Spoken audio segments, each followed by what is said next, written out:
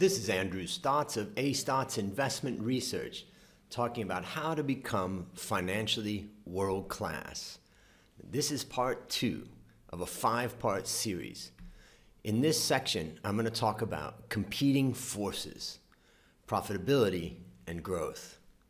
So let's get into it. The first thing is that the three core barriers to becoming financially world class is that finance is complicated, financial measures are scattered, and finance is used to individually incentivize divisions and people.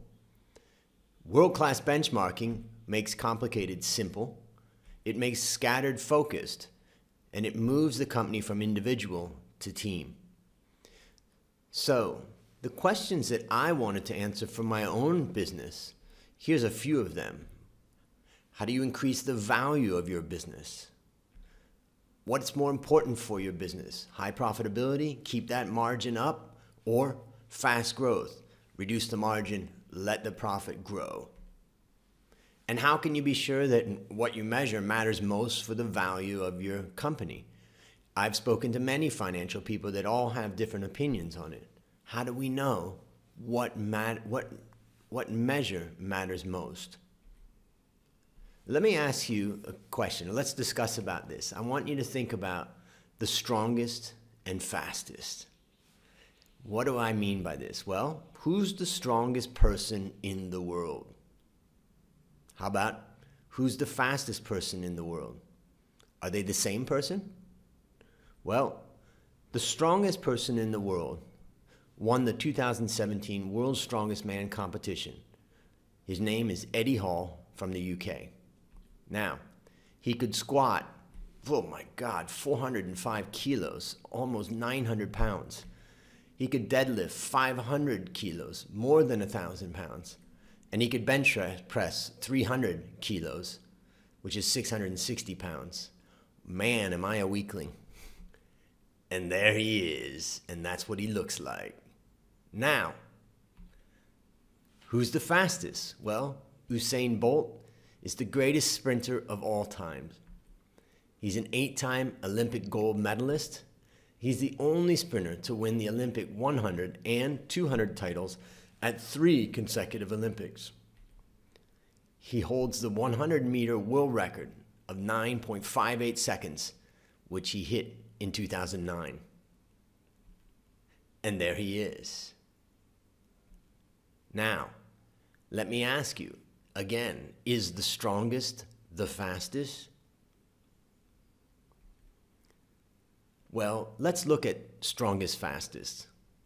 Richard Froning Jr. is an American professional CrossFit athlete. He's known for his achievements in the 2010 to 2016 CrossFit Games. He's the first person to win the title Fittest Man on Earth. That's not me. Four times with his first place finish in the 2011 to 2014 CrossFit Games. And there he is. Again, that's not me. Now he looks a lot different from the other guys. Now let's talk about yin yang. Yin yang are competing forces. And I would argue that profitability and growth are competing forces. And you could call it dark, bright. They're opposite forces that can be complementary. What is a man without a woman? It's the balance of opposite is shown by the portion of one being in the other. So the circle stays the same and they're equally balanced. Well, what does yin mean? It means slow, soft, cold, wet, passive. It could be considered earth, water, moon, night. And it's associated with female. And I associate it with profitability. Now let's look at yang. It's fast, hard, solid, focused, hot, active. It's associated with fire, sky, sun, and day. And it's also associated with male. I call that growth. Women, profitability, men, growth.